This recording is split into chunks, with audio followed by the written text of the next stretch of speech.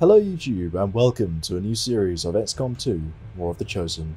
We're here, starting a new playthrough on Commander difficulty. Last time we had a go at Legend, and unfortunately I had to cut that series short because some stuff happened in life and didn't have time to record things. But we're back, and we're going to play on Commander this time, because although Legend was interesting, it didn't actually make it more difficult, it just kind of made things slower with building and research, and it wasn't that fun, I would say. I quite enjoyed Commander. Like it was, it was enough of a challenge that I, I enjoyed it. So we're gonna play on Commander. So that. And we've got some new mods installed, mainly focused around adding psionics into the RPG overhaul system, and also a mini Templar build, which I haven't tried out much, but it sounds pretty cool. Uh, but we are also going to start with a Templar because I haven't played with them that much either, because they annoyed me the last time I played with them. Because uh, of melee constantly triggering other squads, or that lot. Uh, but that's why we're going to play with them this time, because it's probably going to go wrong. And the plan for this particular series is to try out a bunch of different builds. Because last time I went for the generic, you know, assault rifle in everyone's hands. Everyone is exactly the same, but also really, really good. And it worked really well. For so, so which I was not expecting, but it did. Um, that was the thing. But because I know I'm going to make mistakes, because I don't have any clue what I'm doing, I'm going to pick this, which will allow me to pick the starting abilities of my soldiers, which, if I'm not mistaken, there's one that boosts the natural aptitude and one that boosts the combat intelligence. And I think I'm going to pick that for everyone just to boost their base stats, so that if I do have to respec them, they'll actually be good at the thing that they're supposed to be doing. So that's the main reason I'm doing that. Uh, we're going to play without Iron Man because it's modded. If it gets corrupted, it will be a pain to fix on Iron Man. However, we're not going to save Scum because that defeats the entire point of trying to play well if I'm just going to reload if I play badly. So, you know, someone dies, someone dies, and that, I have to stick with it. So, yeah, let us begin. I'm pretty excited to get started actually because I feel like I say this every time, but I haven't actually played it in a while. Mean, that's why I haven't been recording. I haven't been playing XCOM in ages, and I'm pretty... It should be a lot of fun, I think. Well, not only trying out new things, but, you know, relearning how to play the game. Because... Oh my gosh. Yeah. I forgot about that. the, uh, the slightly laggy entrance there. It's good. Right. Uh, let's move up. Let's just move everyone up as far as we can for the moment. I don't see any civilians. I think we're good. Because the civilians obviously could trigger getting spotted. I would like to be concealed for quite a while. But actually, no, I see them over there. I want to stay away from them. If possible, can I get up top? I can get up top. That's where I want to go. Let's get up top. Because that will get us a nice uh, stealthy positioning to encounter our enemies. Enemy activity. Hear them. I'm a little bit concerned by the fact I can't see anybody yet, which leads me to believe that I'm probably going to engage both squads at the same time, which is exactly what I want to avoid. Yep, there they are. Okay. We're going to pull away from the edge of the balcony and we're going to hug the left wall. Oh, Oh, that's not... That's... Oh. That's bad. Okay. We've already seen them both at the same time. And they've seen us. Apparently. That's really bad. Bug up. Mm. I can get a double grenade in here, so let's do that.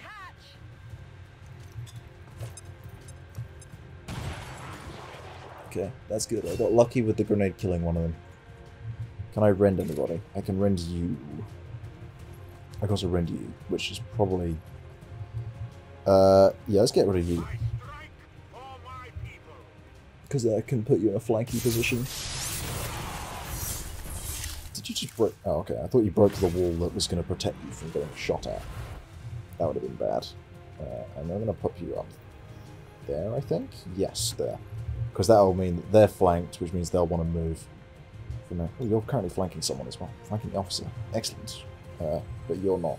Oh, you are in cover. Okay. Cool. That's good. Uh,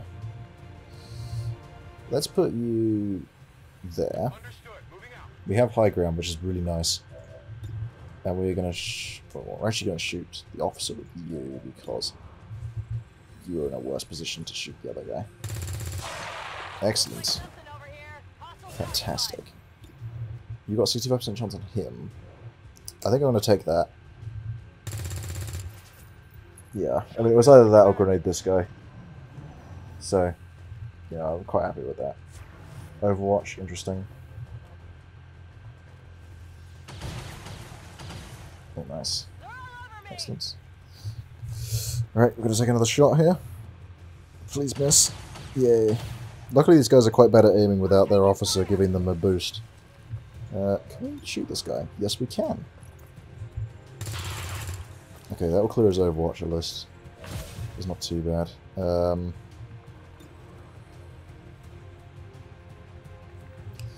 I think I'm going to have to take you out. I could volt someone, actually. I could volt that guy.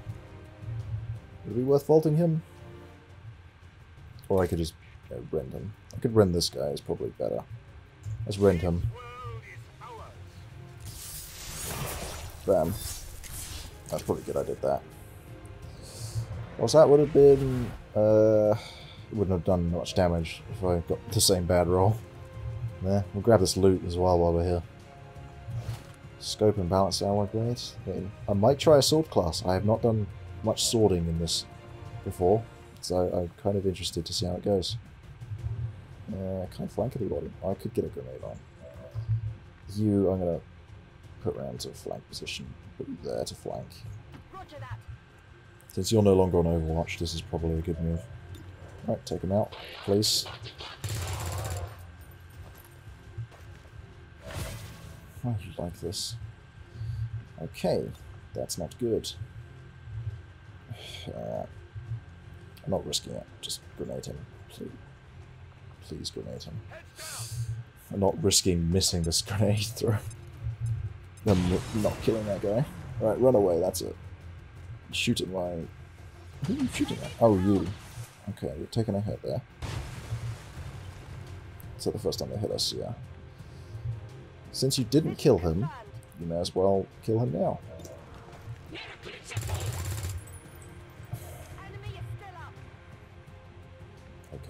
I see how it is. Give up. And do what she failed to do by actually killing this guy, maybe. Thank you. Enemy down. Area is secure. Excellent. Alright, We're get you on up there, any please. Scanners are clear. Jeez. we have a limited Alright. window to act before Okay. That- We okay, we got there in the end. charges planted on the double. We... Looks like our luck is going to be rendezvous with the pretty questionable in this playthrough so far. Status confirmed. Squad is clear. But Detonate Luckily we did that without losing which is nice. Even with revealing both squads at the same time, I was concerned that was going to be an issue. But we made it, uh, with only sustained one injury. A bad injury, mind you, but at least it was it was just an injury and not, not a death. Alright, the Cool. the let's see what we got for our uh, upgrades. So, let me see if I can find them. It is this one, Prodigy, and the other one is Synthetic Genes. Yeah, so Natural Action and Combat Intelligence. Just boosts. So the AP is boosted by Combat Intelligence, and that's us buying more skills or more um, abilities. And this Synthetic Genes lets us buy, more um, stats, upgrades, basically. As we level up, which basically just makes them better. Sort of on average which is good, of course, for if I'm constantly swapping out which mode they're in, which may well happen. Uh, we shall see. Let's see what we got here. Prodigy again, and also again. I don't know enough about the abilities that I want to try out to know what I want to do, so that's just be that for the moment. I may make more specific soldiers. Ooh, we've got a bond already. Sure, I'll confirm this bond. Since that was unexpectedly fast. I guess they must have had 10 in whatever it is. What have I got here? Research. Excellent. Uh, modular weapons, please. The one I normally go for. Uh, where are our power coils? There. There. So that's what we're going to aim for. It's not terrible. At least it's not down here. That would have been bad. Um, it's not too bad. Okay. I can live with that. Right. I'm going to look through my soldiers to see what the bonds are, and I will be back after that. So I'll see you guys in a moment. Cool. I have worked out what the pairings are for our, at least our main squad. So, uh, let us go on to the geoscape and see what we got. Okay, cool. Stockade. Ah, fantastic. We got an engineer straight away. That was really good. Engineers and scientists at the beginning is a fantastic way to start. Um, Yeah, go yeah, getting a starting engineer is fantastic. Getting a clearing out to that power core is great. Scientists are also good, but I think engineers probably a stronger start. Oh, we're inspired by hybrid materials. May as well take it then. fallen victim to the Good getting an inspiration for the one I normally do second. Uh, was a success, Commander. I had assumed Good work. that research a Hybrid materials. Thank you. I'll notify you as soon as the report. Fantastic. So I could buy towards that, but I can't yet. Should I just go straight for magnetic weapons? I feel like I want to. I'm gonna go straight for magnetic weapons because our highest priority. that'll mean it will happen faster. Now I don't have anything else I particularly want to get on the way, so may as well go for it. Engineer, yes please. Uh, not now. Let's assign this engineer to clear out this one. Alien debris, clear. Bam. Get me some more supplies, please. Thank you. Uh, right, and let us now go to get these rookies. Because it's always good having more soldiers to work with. Hey. Alright, let's do that. Cool. First proper mission. Right. I think I'm going to make this a new episode. Uh, what's the timing actually? What are we at here? 14 minutes, yeah. Okay. Uh, we will be back next time to do this mission. So see you guys then.